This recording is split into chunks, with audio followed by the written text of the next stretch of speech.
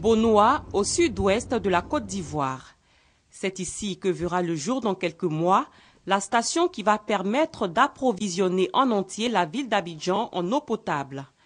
Les travaux débutés en août 2012 à l'initiative de l'État de Côte d'Ivoire avancent bien selon le Premier ministre Daniel Cablon Duncan en visite sur le chantier ce vendredi. Pour le financement de ce dossier, c'est à peu près 5 milliards de francs CFA qui sont donc prévus pour euh, ce chantier que ça permettait donc de couvrir certainement les besoins de Port-Boué, de Marcory, de Trècheville et comment aussi bien sûr. Plus de 400 personnes travaillent sur le chantier.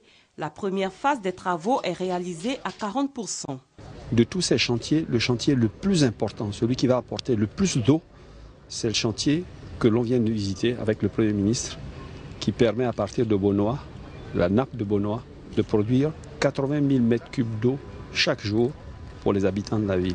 Les quelques difficultés euh, qu'il y avait sont levées et le projet devrait se dérouler selon son cours normal pour s'achever en décembre 2014 conformément donc, au délai fixé par le chef de l'État. Dans neuf mois, 2 millions de personnes n'auront plus de soucis à se faire pour avoir accès à l'eau potable à Abidjan.